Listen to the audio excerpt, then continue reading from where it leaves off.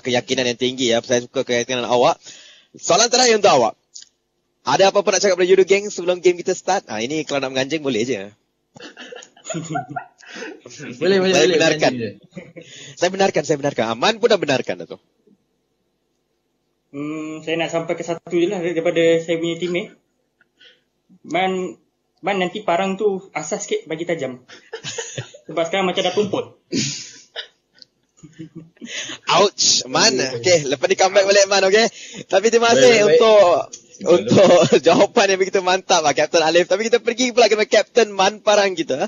So Captain Man Parang, semua orang walaupun kita main-main cakap orang tak kenal kau, aku rasa satu satu Malaysia kenal kau. Kau lah salah satu player yang paling awal orang kenal nama sebab lompatan yang korang buat masa PMNC 1 dekat map Erangel. Um, dari situ melihat kau membesar sampai ke uh, PMWL menang si final lagi kali pertama Malaysia pulang piala yang begitu berprestisius best prestigious. Ah, itulah engkau. So, ada tak apa-apa tips yang kau nak berikan kepada player-player yang tengah bermain PMNC? Sebab engkau sendiri pun sebenarnya timbul daripada PMNC kan? So, ada tak apa-apa tips yeah. untuk player-player yang bermain untuk PMNC sekarang ni? Okay, so macam uh, tim-tim yang baru yang masuk PMNC ni korang kalau apa yang penting sebenarnya adalah pengalaman lah. Kalau sebenarnya tak ada siapa yang naik terus ke atas sebab saya pun start daripada PUBG PC and then go PUBG Mobile dah kira-kira dah dekat 3 tahun lebih baru capai ke tahap ni. So jangan give up lah. Kalau kalah pun slow-slow naik naik naik naik. Yap, betul tu pengalaman penting dan tangan give up itulah nasihat daripada Captain Man Parang kita. Terusnya Man, boleh tak kau share sedikit kau punya perjalanan lah daripada 2018 bermain di PMNC 1, kemudiannya main PMNC 2 dan pergi global final dan seterusnya baru-baru ni menang di C final. Boleh tak share sedikit perjalanan engkau dengan viewer-viewer kita? Perjalanan yang agak panjang eh. Uh, so start start daripada PMNC 2018 uh, yang siapa lah PMNC tu siapa lah roster dia? Man? Uh, Man Geek. Geek Jimboy uh, so Boy. itu mula roster yang kalau korang yang tak tahulah itu roster yang pertama kan. Dan kita orang tukar tukar tukar tukar tukar. Sampai sekarang uh, iaitu Man Drex Fredo dengan Jumper yang orang cakap apa dream team lah kan. Uh, so Alhamdulillah kita orang capai sampai ke tahap ni champion uh, SEA dan harap-harap dapat champion PMWL uh, dan mendapatkan slot untuk season depan juga. Okay? InsyaAllah.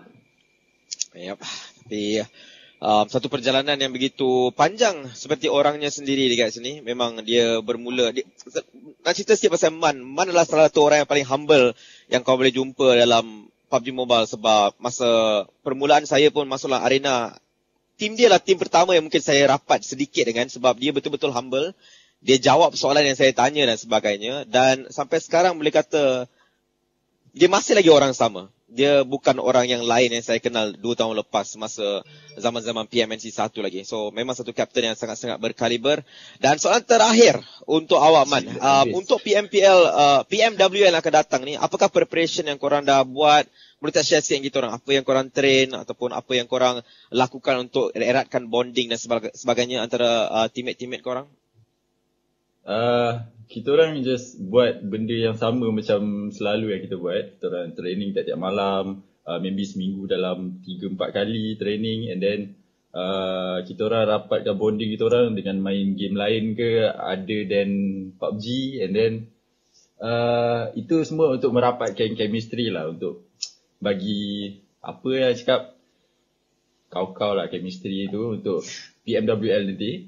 Uh, so itu je lah kot. Kita punya training. Tak ada apa sangat lah.